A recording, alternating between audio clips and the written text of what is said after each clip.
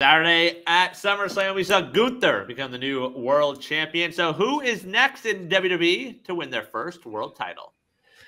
Well, the answer is Tiffany Stratton. Okay. Um, she she she's currently holding a Money in the Bank briefcase. Um, so I think the answer is Tiffany Stratton. But I put together.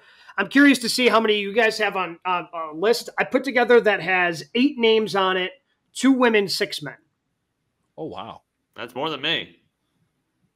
I had four, but you go right ahead. Okay. Uh, so I also put Jade Cargill on the list for she's the other woman. So where did she's I. going to be she's going to be a future champion.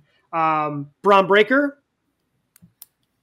Yep. uh, Jey Uso, Logan Paul, um, and then kind of the longer shots. I put Sami, LA Knight on there, and then I also put Solo Sikoa on there, where I wonder if, in order to make the Bloodline feud last longer, if it makes sense to throw a world championship on him for Roman to be chasing him more. So I put Solo on there just as a. I wonder if this is potentially something they could do as a storyline thing, and they put put something on Solo.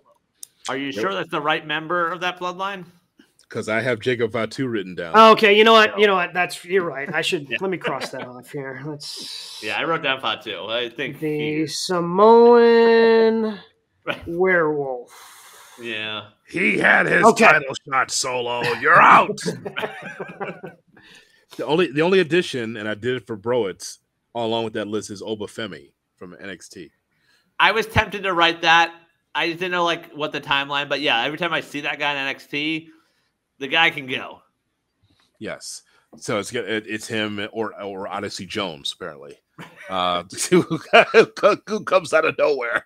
Odyssey Jones. Oh, okay. Yeah. Sure. All right. Good reaction to your list. I didn't have Jey on mine. Like I thought about it, but like I feel like we've seen peak Jey Uso. Like he's a WWE top guy, and that's it.